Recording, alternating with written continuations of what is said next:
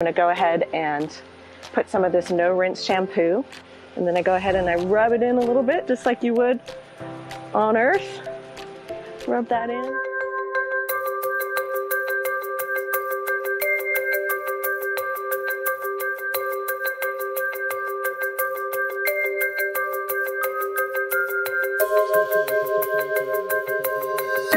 All of the liquid that's in those packets, you know, if you are eating too fast and you get some of that liquid airborne, it's going to go everywhere. It's going to get on your crewmates. It's going to you're going to find it a week later, you know, by the by the uh, ductwork or something. And so, every little thing that you take for granted on Earth, when all your stuff stays put, is a little bit more challenging in space.